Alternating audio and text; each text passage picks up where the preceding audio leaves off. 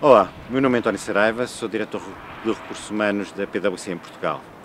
É com enorme prazer que vos estou aqui a deixar esta mensagem no projeto Design for Change, um, desenvolvido e implementado pela Associação iPlay. Uh, eu queria efetivamente deixar-vos a mensagem de que uh, onde é que está a importância, ao fim e ao cabo, numa empresa que recruta tantos jovens uh, todos os anos, aquilo que é importante desenvolver ao nível dos vossos alunos. Tem muito, não só ao nível das competências técnicas que são fundamentais, mas aquilo que este projeto acaba por uh, ser o seu fulcro, que é o desenvolvimento de competências sociais e competências comportamentais. É uma forte aposta em consonância efetivamente com as competências que eles irão adquirir mais tarde